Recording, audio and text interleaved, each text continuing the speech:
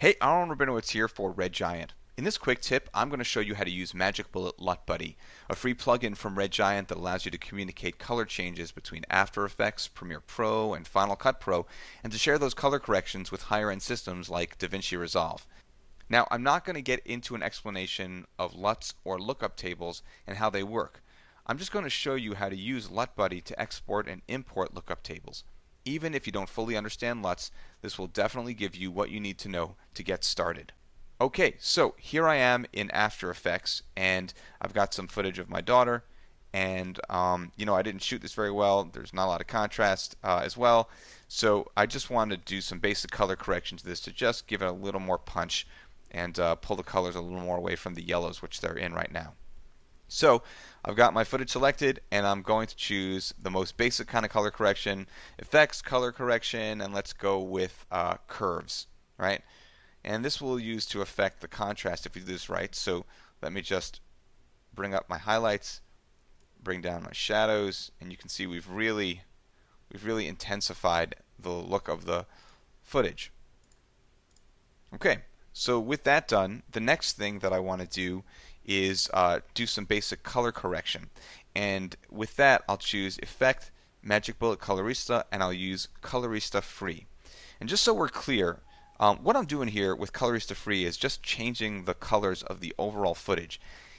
After Effects is able to read that, and even though there's an interface, a really shiny, interesting looking interface, what's really happening is happening under the hood. These are just telling, uh, setting numbers and things that we don't see, and that's what's important because LUT Buddy is going to see the color changes. It's not going to look at these tools and say, oh, I need to add this tool into the next program where I'm bringing that lookup table. It's just looking at the color. So in a case where I'm using curves or Colorista Free or any of the other color correction tools uh, that are in here, um, most of them anyway, then it's going to be simple for LUT Buddy to read that information. Things get complicated though when you start using color correction tools like Magic Bullet Looks or Magic Bullet Colorista 2, which are actually using more than just color data. They're using a whole bunch of other things. Like for example, Colorista 2 uses um, power masks which isolate areas for color correction. Well, LUTBuddy can't read that. So if you're using anything other than basic color correction tools, your changes may not show up. In the case of Colorista Free, even though we've got this awesome interface for color correction, it's really just changing the color of the overall picture and we're not isolating any areas, for example. So it should read fine coming out of uh, LUTBuddy. So that said, let's make some basic changes here. I'm just bringing my highlights more into the blue. That's a little too much, perhaps. Just do something like that. Get my midtones, again, more into the blue. And definitely get my shadows more into the blue. So we can see before and after, we're definitely pulled out of those yellows in the areas that shouldn't be that yellow. Okay, great. So this is looking good. And uh, what I want to do now is capture the color changes. So let me just twirl this stuff up. And I'm going to choose Effect, Magic Bullet Colorista, and LUT Buddy. And the first thing you need to do is take LUT Buddy and move it to the top of your stack. By the way, I could have just started by adding LUT Buddy, but I don't want to confuse things. I wanted to just do basic color correction. So with LUT Buddy added to the top here, instead of telling it to apply a LUT, I'm going to tell it to draw a pattern. And this pattern is important because the changes we make to the color are going to affect this pattern, and we can see them. Just take a look. If I play with the curves here, you can see what's happening to the pattern. It's altering the the color of the pattern, and um, this is what, what LUTBuddy is going to read this pattern that's being generated here. It's going to read this and it's going to create color correction based on the changes that are happening to this lookup table. And what I'm going to do now is, again, I'm just going to add uh, LUTBuddy again, and this should be at, at the bottom of the stack. And again, instead of apply LUT, we're going to tell it to read the pattern. So now it's reading the pattern. What's important is you make sure that these two match. Um, we want to make sure that our patterns are matching, that it's a 3D 32 uh, pattern in both places because if they're not the same, it's going to be reading the wrong pattern uh, data and it, it, may not understand. In any case, as long as they match, you're good. And uh, with that said, I'm going to click on Options and I'm going to choose to export my LUT. And why don't we call this D yellower, right? And I'm saving this LUT.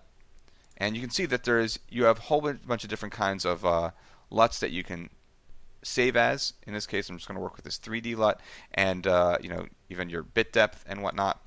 Um, so let's leave this as is, and I'm clicking OK, and we're done with that. And now we're going to jump into Final Cut Pro, and we're going to import that LUT. And here I am in Final Cut Pro with the same video. And the reason I want to use the same video is so that you can really compare the two uh, programs one to the other and see that the color changes all came in. I have my footage selected and I'm going to choose Effects, Video Filters, Magic Bullet Colorista, and LUT Buddy. And by default, it's set to apply the LUT, the lookup table, and that's perfect. So let's just go into our options here, and we'll tell it to import our LUT, our de-yellower, and I'm clicking on Open, and I'll click OK. And just so you can see, this is the uh, the lookup table being applied in Final Cut Pro and all those color corrections are there and you don't have there you don't have to have the curves effect you don't have to have Colorista Free installed. As you can see the changes are here and if we go into After Effects just to look at it again we can see the exact same color look although there's some scaling stuff going on here but that's aside from the fact. In any case this is the exact same look of color. Anyway I hope that this helps you in your work and uh, I just want to mention that even if you're not ready to start doing your own color correction and uh, creating lookup tables, there's a couple of uh, free lookup tables out there that I know of that are really great for uh, just kind of getting certain kinds of looks on your footage, and you should just sort of keep your eyes open for them because there's a lot of great stuff out there. Anyway, that's it. Once again, I'm Aaron Rabinowitz for Red Giant. See you next time.